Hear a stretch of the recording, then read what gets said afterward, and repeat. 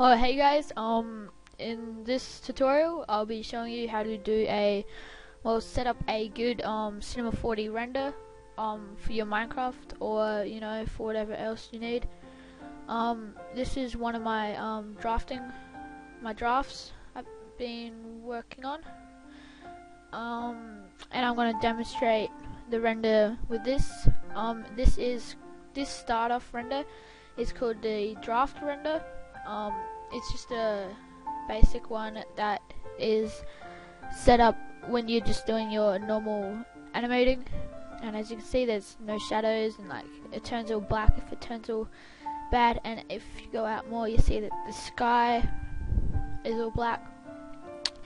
So I'm going to show you how to make a really nice um, render as the thumbnail has shown. Okay um let's get into it. First up, we'll just create a sky. So click on the, hold down on the light, click on sky. Just double click for a new texture and just drag that one on. Now you should see that the black has turned into white. That makes it more like a daytime thing. And then what you want to do is um, create a um, you want to go into your render options um, which is this one here. Um, if it says, or down here, it says render settings, so you just click on that one. Uh, render settings, Control B, and it should come up with the settings. Okay. So the output, you want to click on the triangle and change the width and height to a um, HDTV 1080p. So you go down to film and video and HDTV. 1080 25 and you can just leave everything else.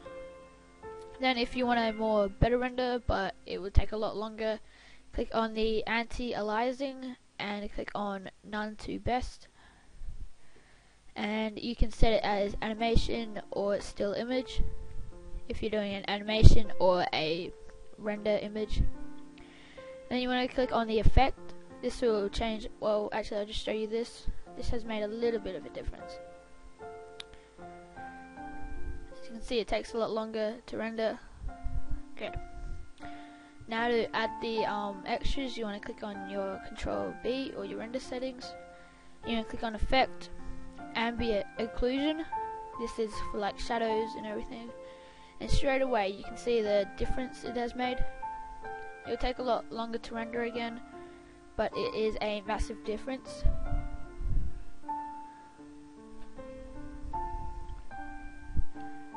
Kind of see it there. Okay, you can open it again, click Effect, Global Illumination. This will take a long time if you have it um, just set like this. As you can see, this will take forever. Um, so to speed it up, you just want to click on where it says dot this one here and this one here. I can't really say that, so you click on medium, set to low, set it for both of them. And you should see now it should take a little bit quicker. I should yeah get into it straight away. This has made another massive difference as you can see here. It give it gives the water some nice shadows and reflection effects. And it just makes everything a lot more like um, less pixely. I can say that. And you want to open it again and just show some extras um, you can give it a um, lens effect and an object glow. Okay. Now you've got that done you kind of want some um, shadows for the ambient, ambient occlusion to um, give. So you want to click on your light just click on light or you just click it like that. And you want to before moving that you want to click on the cube. You select the plane.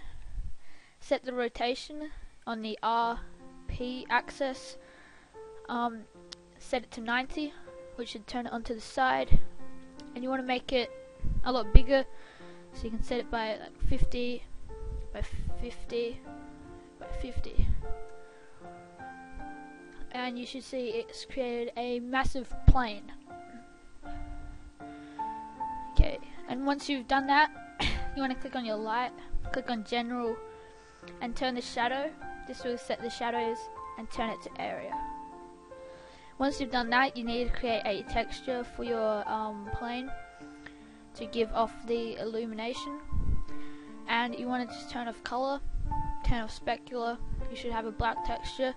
And if you turn on luminance, this will give the illumination effect. Um, you just tick that, and that's all you have to do. And you can just drag that texture onto your plane. You can do it like that, or you can drag it onto the plane there. Okay, once you get got that done, you should now have some um, effects. So you can move this around now. Oops. You can move that around now. Give it some effects like that. I'll just show you the render so far.